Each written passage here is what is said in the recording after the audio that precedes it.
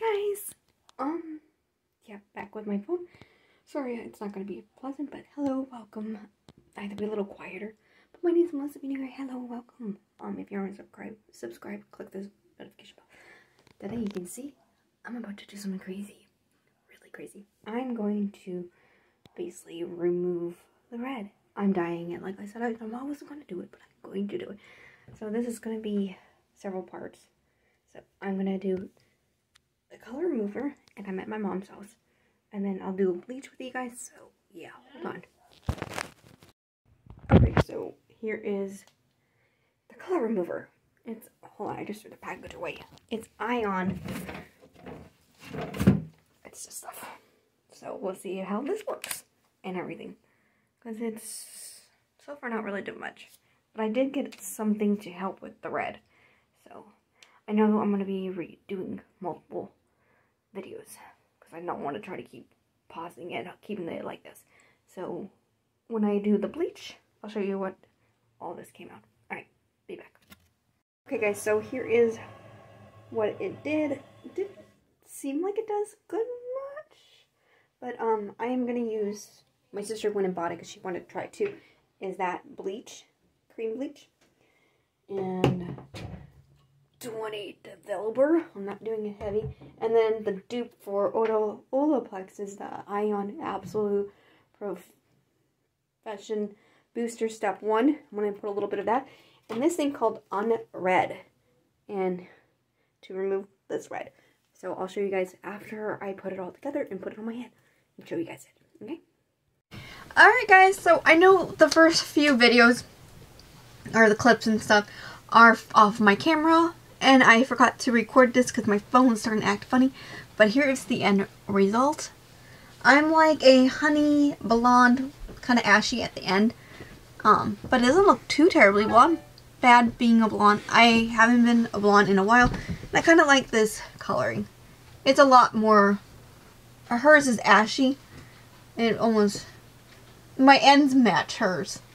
But my roots and my bangs are all is honey color, which is crazy. And we're trying to get her hair fixed, but I'm showing some blues or some reds in her bangs because we did red. Alright, can you go? Thank you, I was trying to bleach it out and get a remove of it, but we're just going to have to let it grow and stuff. She wants to do a lavender color, but yeah. Um, and this look, it will be up on Friday on Christmas Eve because I'm doing A3 looks and you just have to wait to see how I created this look for you guys. But um, yeah, I'm not so mad. I will be having the typical blonde with dark roots because my hair for some reason doesn't want to go back to blonde blonde. It turns brown like a mahogany kind of brown. I did have my hair dyed or grown out naturally one time and it was brown. It wasn't any remotely blonde. But this actually took me five processes. Um, so it took me a little while to get this tone of color. Because the first color I put in was a dark blonde, which almost looks completely brown. Which wasn't what I was going for. And then I remembered I had a couple blondes. I thought they were medium, but they're lights and luckily there weren't so much and I added the golden dark golden blonde into the mix with the tan blonde and a intense light blonde. So this is what came out. I'm not tripping.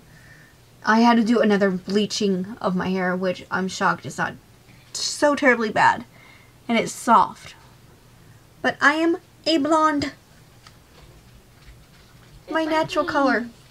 So yeah let's see how long this will last. Going from a redhead-ish, reddish brown hair to a golden... Blondie. Um, blonde color. Honey blonde. Yeah. So, yeah. I hope you guys like this video and stuff. And if you guys do, give it a like down below. Leave comments, whatnot. I truly appreciate it.